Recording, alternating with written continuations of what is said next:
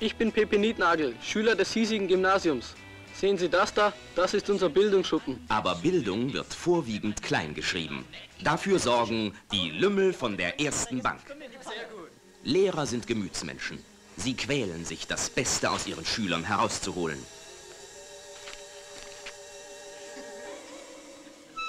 Denn wir feiern heute den Tag des Missverständnis. des Missverständnisses. Aber das ist doch Unsinn, Missverständnis.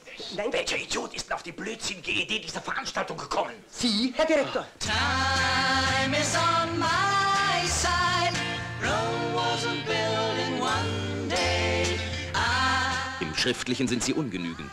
Dafür leisten sie im Mündlichen Vorzügliches. Die Lümmel von der ersten Bank. Was denn, was denn? Schon wieder ein blauer Brief? Ja, Wie blau?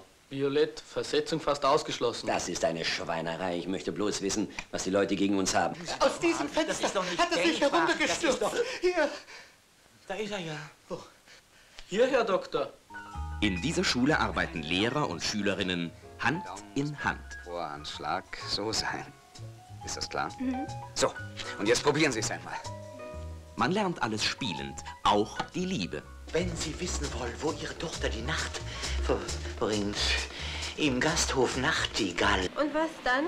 Dann fragst du ihn, ob du die Pulle nehmen sollst, weil deine Mitschüler so frech sind. Wie kommst du denn darauf? Vielleicht hat sie es in einem Gestüt gesehen und eine Stute hat es gesagt. Hinaus! Das ist...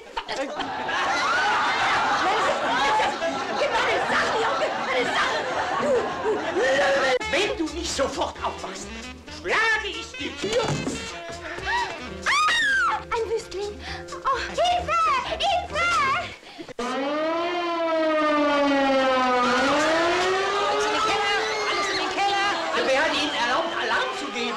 Und jetzt wird der Bildungsnotstand ausgerufen.